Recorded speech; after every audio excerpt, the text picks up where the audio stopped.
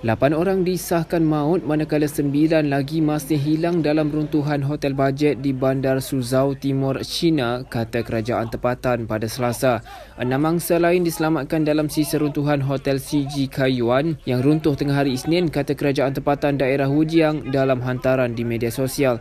Pihak berkuasa sebelum ini memaklumkan 14 mangsa sudah diselamatkan namun jumlah terkini akan dikemaskini selepas maklumat baharu diperolehi. Hotel berkenaan yang beroperasi sejak 2018 mempunyai 54 bilik berdasarkan maklumat dalam laman web pelancongan.